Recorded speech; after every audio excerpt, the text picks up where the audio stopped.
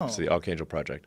And then Archangel 12. Oh, okay. Well, as a person who's uh, very much into uh, aerial travel, as you are, that's uh, perfect. Yeah. So now, as you you know get older and get to appreciate it as a mature, fully formed adult, it must be really pretty wonderful. Yeah. Um,